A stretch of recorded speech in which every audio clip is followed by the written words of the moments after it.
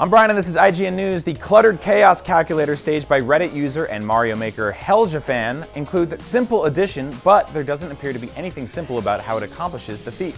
Only the beginning of the stage is interactive with players taking Mario through columns to select the two numbers they'd like to add. The rest seems, at first, like any number of self-completing Super Mario Maker levels in which the player must not move. However, the automatic flinging of shells and breaking of blocks actually hide a maddening maze of logic gates to produce a result. Helgefan themselves pointed out in their complex breakdown of the level and said, Simple adding machines have been created in the past with Super Mario Maker, but to my knowledge this is the first one with a decimal conversion and proper display of the result. The user further posted a massive image of the stage with details on how its logic works to Imgur.